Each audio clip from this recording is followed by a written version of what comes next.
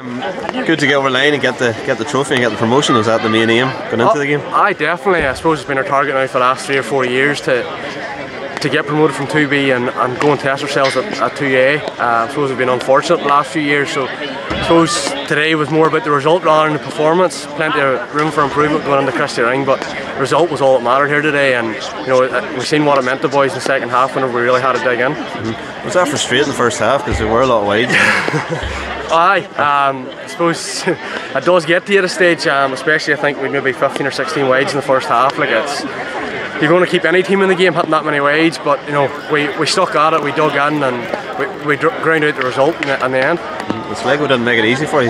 No, absolutely not. You know that's to say we played them three or four times last couple of years. It's been nip or tuck. We know what they're about. Um, we knew it wasn't going to be handy.